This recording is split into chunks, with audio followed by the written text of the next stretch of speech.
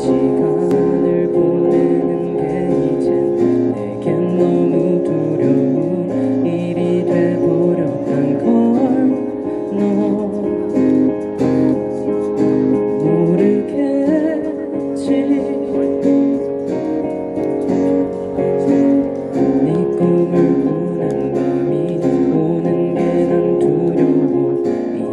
naked.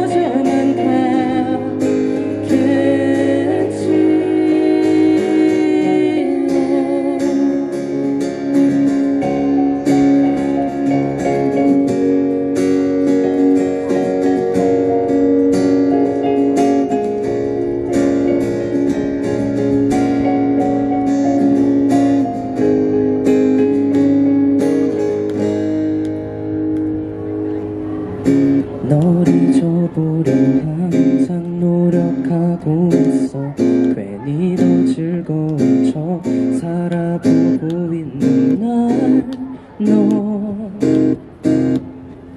모르겠지.